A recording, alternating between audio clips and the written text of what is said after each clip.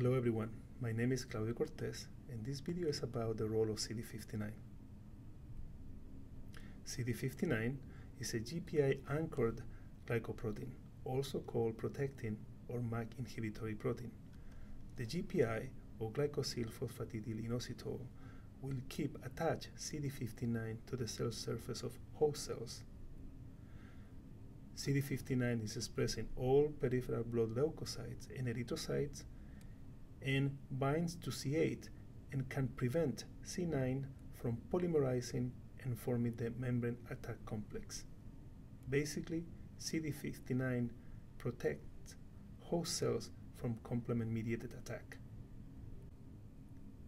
In certain circumstances, the complement system can activate on the cell surface of host cells. Study the case, it is possible that the C5 convertase the classical pathway or lectin pathway C4b, C2a, C3b, or the C5 convertase of the alternative pathway C3b, BB, C3b are attached to the cell surface of host cells. These C5 convertases may cleave C5, generating C5a, a potent inflammatory molecule, and C5b. C5b may be recognized by C6 and C7. This complex, C5b, C6, C7, will attach to the cell surface of host cells, allowing the insertion of C8 into the cell membrane of host cells. Luckily, host cells express CD59, a membrane-bound complement regulatory protein.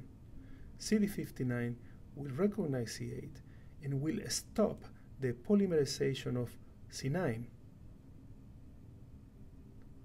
this way, CD59 is inhibiting the formation of MAC or C5b C9 and therefore inhibits the lysis of host cells and protect host cells from complement mediated attack.